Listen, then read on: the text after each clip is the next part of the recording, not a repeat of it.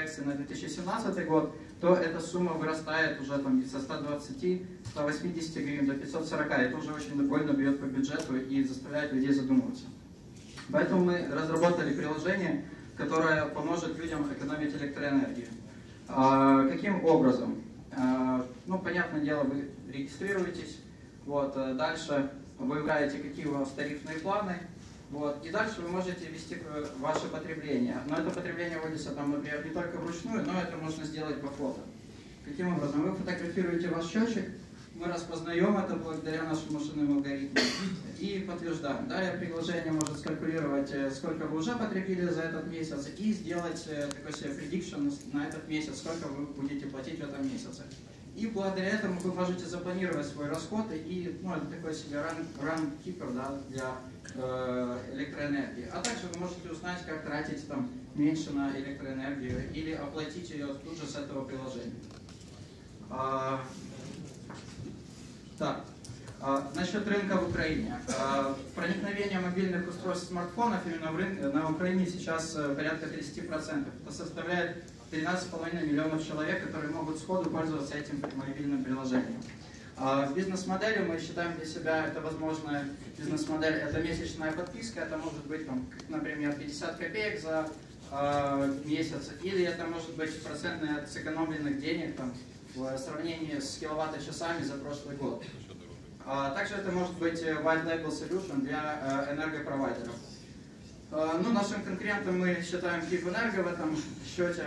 А, но если брать Киевэнерго и сравнивать с нами, то мы быстрее, поскольку как бы вам не надо идти к счетчику, переписывать данные, потом заходить в свой кабинет на компьютере. Вы можете тут же сфотографировать это, рассчитать, получить э, prediction и тут же оплатить или, ну, если надо.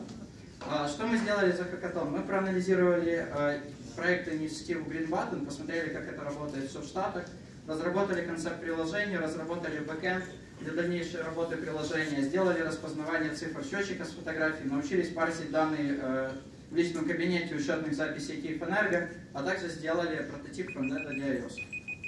Ну, как бы в планах это счетчики на воду и счетчики на газ. Это наша команда. Это Богдан, он недавно вернулся с Гугла, э, Иларион и Андрей, это с моей командой ребята с Экоизми. И Паша Бондаренко.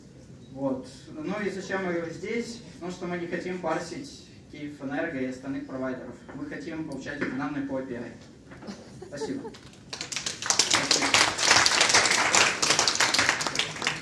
Вопрос. А, с, кроме Киевэнерго, какие еще данные вы хотели бы открыть для того, чтобы ваш проект работал в полную меру? На самом деле Киевэнерго это лишь один провайдер, да, то есть нам интересно работать со всеми провайдерами по Украине. А, Ой. да. А, мы хотим работать со всеми провайдерами по Украине, и это может быть как электроэнергия, так и другие провайдеры, да, и свет, и газ, а, и газ, и вода. Все, жюри, по-моему, ответили на все вопросы, или я ошибаюсь? Я буду чуть критичная. А где здесь open data? А, ну вот если нам а, а, все эти провайдеры дадут эту open data, мы тогда сможем ее использовать. А на слайдик можете вернуться, там, где с инкубатором скриншот? Вот этот? Видите, как у нас написано красиво? На основе открытых и больших данных.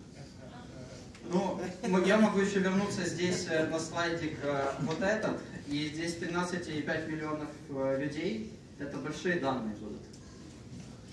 Все, попали. Спасибо. Спасибо вам.